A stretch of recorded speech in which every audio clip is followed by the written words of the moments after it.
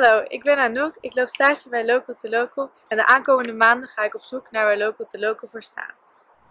Vandaag ga ik naar de Hub restaurant De Kleine Baron om een interview te houden met Elise.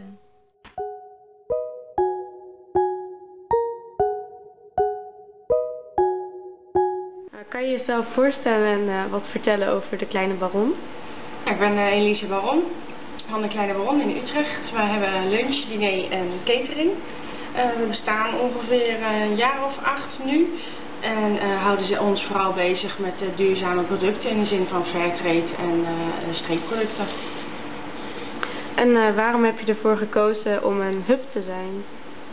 Ja, voor gekozen om een hub te zijn. We zijn veel bezig met de wijk en vanuit de wijk, ja, een klein dorpje zeg ik dan eigenlijk wel, Zuilen, Utrecht en is het toch ook leuk om inderdaad uit de dorpjes hè, of stadjes eromheen gewoon de producten te halen en die te laten kennismaken vanuit het bedrijf naar onze gasten. En wat maakt uh, jullie restaurant onderscheidend van andere restaurants? Nou, ik denk vooral dat we in de wijk zitten. Het is wel zo dat er veel meer restaurants in de wijk zitten, maar gewoon de betrokkenheid die er geboden wordt in de wijk, want ik kom zelf ook uit de wijk Zuilen. En uh, ja, ik denk dat, dat de gasten dat gewoon heel erg waarderen.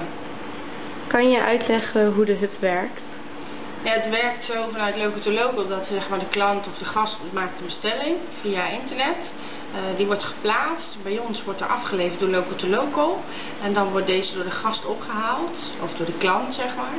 En uh, daar is een bepaald tijdstip voor uitgekozen op donderdag tussen 3 en 8. Dankjewel.